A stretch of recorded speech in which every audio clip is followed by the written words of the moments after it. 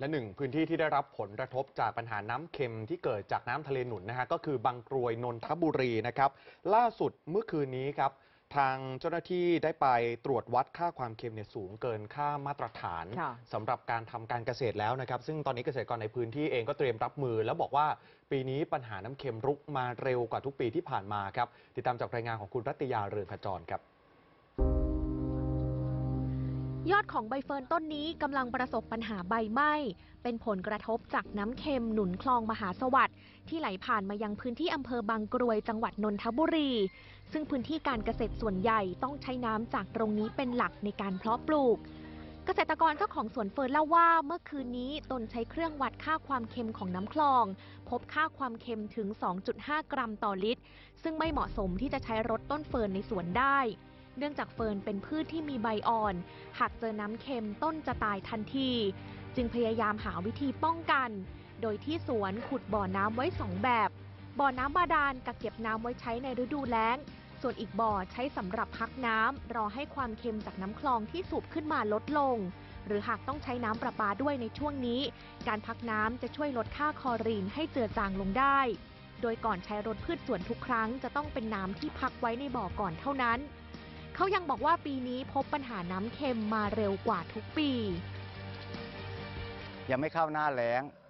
มันก็เกิดเริ่มประสบปัญหาน้ำเค็มแล้วนะครับ เพราะฉะนั้นแล้วผมว่ารอบหน้ามีนาเมษาเกษตรกรของเราเนี่ยจะต้องเริ่มนะครับตื่นตัวนะครับ เก็บกักน้ำเอาไว้ใช้แล้วนะครับ ด้านในอำเภอบางกรวยให้ข้อมูลว่า พบปัญหาน้ำเค็มเป็นประจำทุกปี ซึ่งในพื้นที่ยังมีการทำการเกษตร โดยเฉพาะสวนไม้ดอกไม้ประดับ มีเกษตรกรมากถึง 200-300ถึงราย บางส่วนก็ยังเป็นสวนทุเรียนและมะม่วง ยอมรับว่าต้องมีการตรวจวัดค่าความเค็มในทุกๆวันช่วงนี้ และเร่งประชาสัมพันธ์ให้เกษตรกรในพื้นที่เตรียมรับมือ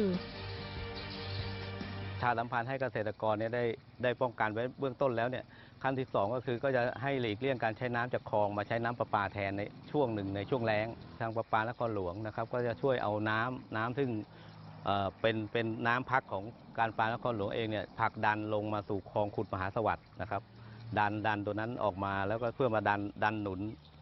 ต้านน้ำเค็มไว้นะครับ ก็เป็นอีกมาตรการหนึ่งที่พอพอจะช่วยช่วยให้น้ำเค็มเนี่ยมันมัน เข้ามาพื้นที่เราได้ยากขึ้น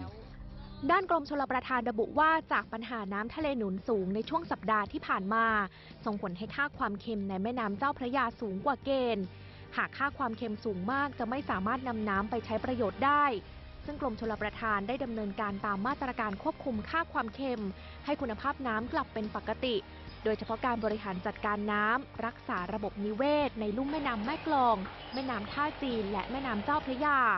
โดยตามมาตรฐานค่าความเค็มของน้ำสำหรับการเกษตร ต้องไม่เกิน 2 กรัมต่อลิตร และค่าความเค็มของน้ำสำหรับการผลิตน้ำประปา ต้องไม่เกิน 0.25 กรัมต่อลิตร โดยที่แหล่งผลิตน้ำประปาที่สำคัญบริเวณสถานีสูบน้ำประปาสำแลจังหวัดปทุมธานี มีการวัดค่าความเค็มในแม่น้ำเจ้าพระยาเป็นรายชั่วโมง โดยหน่วยงานที่เกี่ยวข้องยังคงต้องเฝ้าระวัง เพราะในบางช่วงพบค่าความเค็มสูงเกินมาตรฐาน รัตยาเริงขจรสำนักข่าวไทย อสมท รายงาน